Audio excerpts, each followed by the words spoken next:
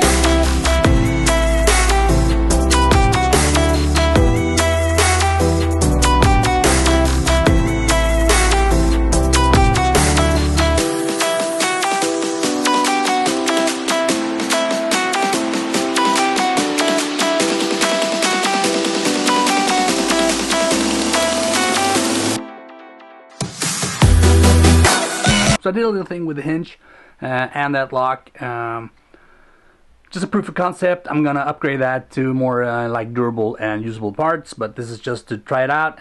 And I put a seal around it. Uh, it's not an original seal. Uh, I'm gonna test this out, uh, but let's leak test this one and see if it holds water.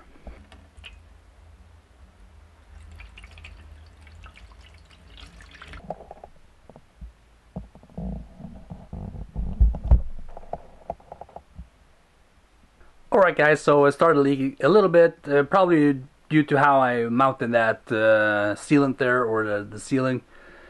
Uh, so I gotta redo that, uh, try again, uh, if it doesn't work I'm gonna change to another uh, type of sealing.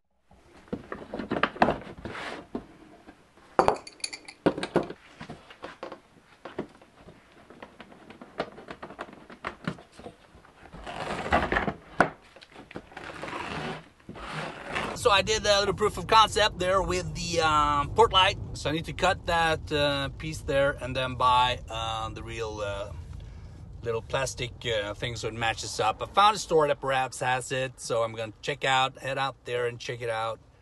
Um, and besides that, just continue working on my um, doing that and also reseal that uh, so it gets watertight because I had some little little leakage there. I don't want that to happen. Um, when it's installed with all the new interior and all that. So heading out to the store, finding that little uh, knob there, and uh, take it from there.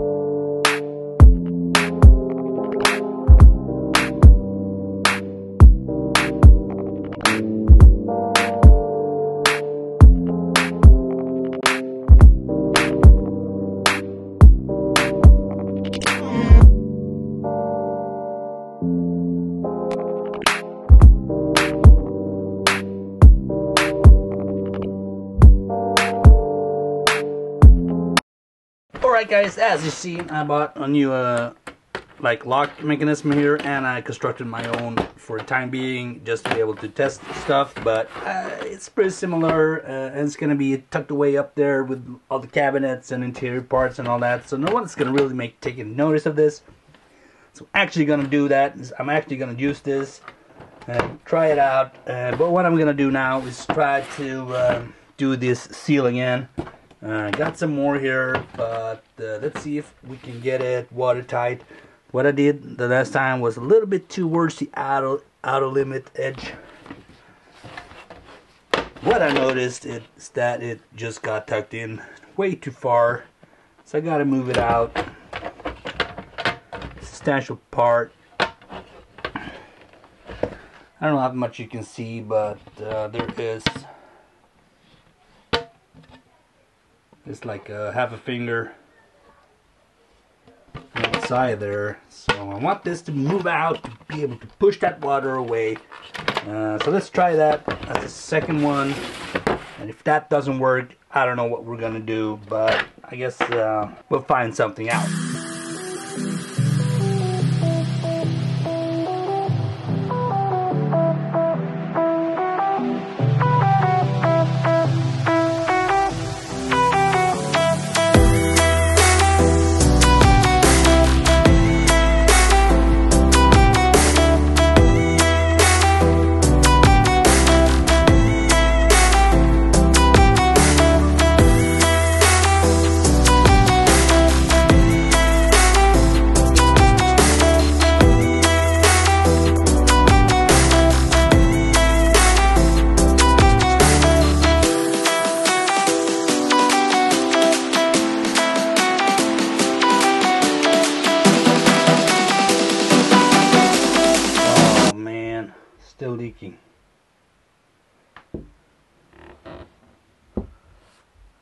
Water here. There's no leaking there, with some leaking here. Um, perhaps these bends here are not really uh, good. What I'm planning to do actually is to put some uh, other sealant just around the, these edges. Um, to try that out, see how it works. Because I want this to be hundred percent. Wasn't much, like five minutes with like standing water, like a quart of water standing in that uh, inside here. I don't know if that's like a realistic scenario, but I want it to be 100%. So let this uh, dry out, get my sealant, and um just uh, support um, support these edges a little bit so that water just doesn't seem to find its way in with a little bit of sealant on the sides here. so that's it for today. Alright guys I'm back at the boat. It's a brand new day sunny day and it's time for me to continue on my mid cabin. So let's go